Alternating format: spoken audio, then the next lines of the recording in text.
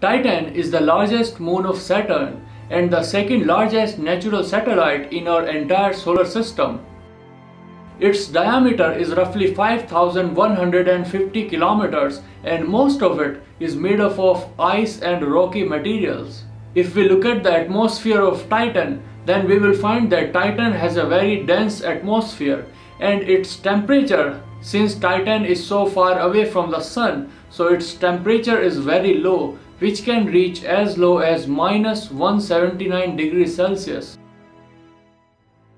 If we look at the surface of Titan, then we will find that it has large number of lakes, rivers and oceans of liquid.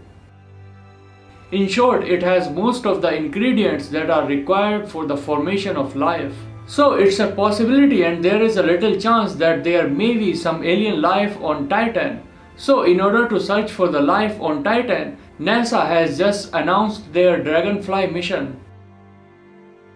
Dragonfly is basically a flying lab that will fly across the surface of Titan and search for alien life. It will study its atmosphere. It will study all the ingredients and what is what it is made up of.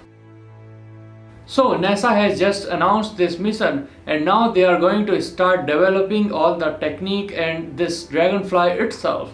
They are going to launch this mission in the year 2026, 7 years from now that will travel for several years in space and reach Titan in 2034.